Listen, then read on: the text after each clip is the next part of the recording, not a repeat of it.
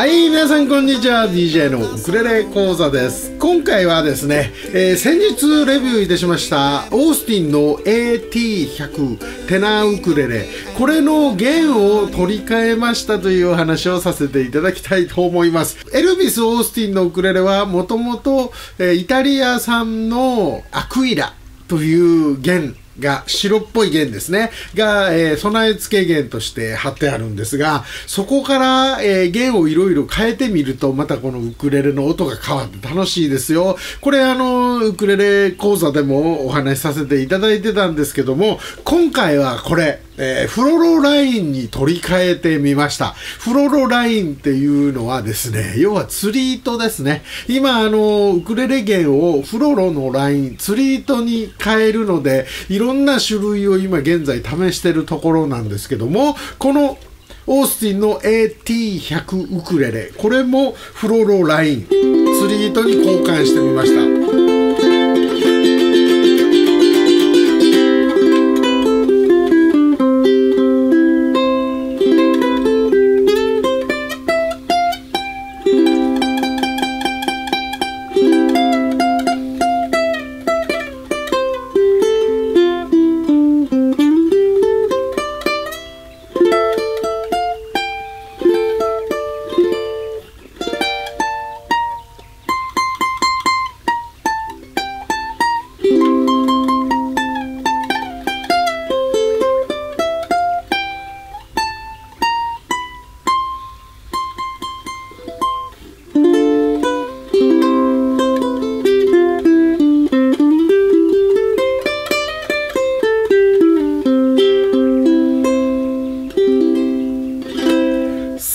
どうでしょうか。えー、一応これ貼ってある弦言いますと、フロロラインの1弦が10号、2弦が16号、で、3弦が24号で、えー、4弦が12号という太さになってるんですけども、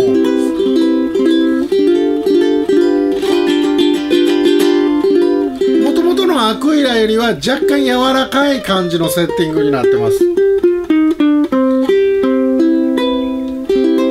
ちょっと柔らかめが好きな場合は、え1弦を8号4弦を10号と1つずつこうずらしていくぐらいに貼ると、えー、いいんではないかなと思います。2弦を14号。で3弦を20号ぐらいにするともっ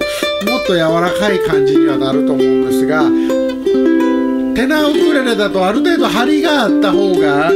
のボディが大きい分ボディ全体を振動させるためにあんまり柔らかい弦を張りすぎるとボディが全部振動しないというもったいない状態になりますのである程度のテンションもあった方がいいと思うんですね。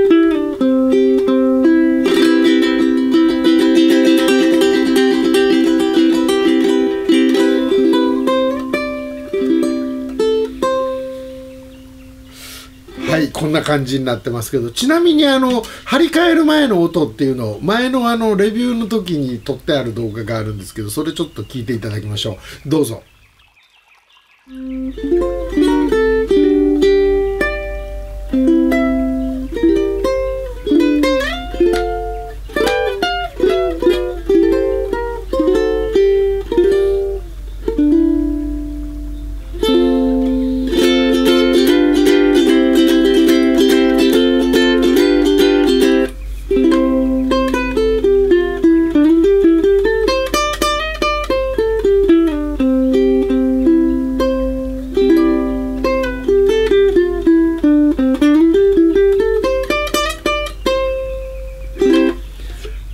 どうですか？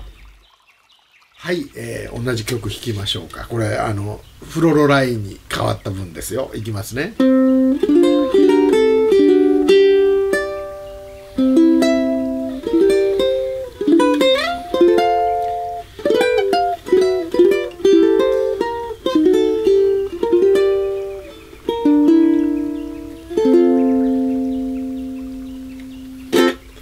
はい、こんな感じです。で、えー、これは、あのー、釣り糸として釣り道具屋さんで売ってるもの、をアマゾンでも買えるんですが、えー、そのフロロラインを使っていますが、えまあ、あの、わざわざ釣り糸を買わなくてもいいんですよ。釣り糸っていうのは、あの、えー、25メーターとか50メーターとかすごい長い単位で売ってますので、全部セットで揃えるとすると、えー、4000、5000円ぐらいになってしまいます。そういうことをしなくてもですね、えー、これに近い感じで言うと、ダダリオのフロロカーボン弦。はい。それを買っていただくと、これに近い音が出ると思います。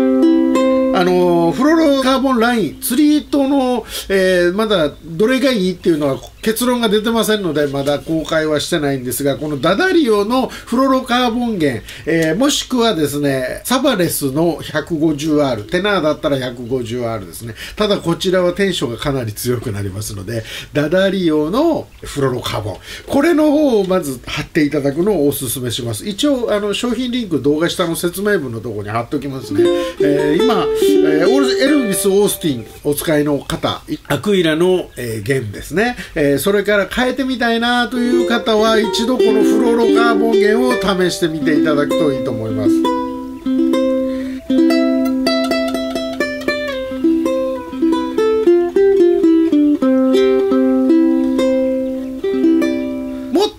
金属的な音が好きな方は、ワースの、えー、CT、えー、テナー用ですね。こちらの弦を貼っていただくと、もっとカキーンとした鉄のような、鉄ではないですけどね、フロロカーボンの音がしますので、硬めの音がそっち、好きな方はそちら。で、もっと柔らかめな音が好きな方は、えー、オルカスのテナー弦。えこの辺あたりを貼っていただくと、マイルドな音になると思います。それぞれの弦はそんなに高くないですので、ワースはあの、1600 600円ぐらいするんですが、2回分取れますので、1セットはだいたい7、800円ぐらいになると思います。そのぐらいでですね、えー、張り替えて、えー、ぴったり自分の好みに合った音、弦を変えるとウクレレを変えたぐらい音が変わりますので、えー、これを基準にですね、次どんどん弦を変えて自分の好みの音を探す。これもまたウクレレの楽しみだと思います。はい、BJ のウクレレ講座。今回はオルカスの AT 100ウクレレにフロロライン、えー、フロロの弦を貼ってみましたというお話でした。皆さんもいろんな弦に張り替えて楽しんでみてください。ということで BJ のウクレレ講座でした。また別の動画でお会いしましょう。さようなら。目を閉じて星空を見ることはできないから今はまばたきも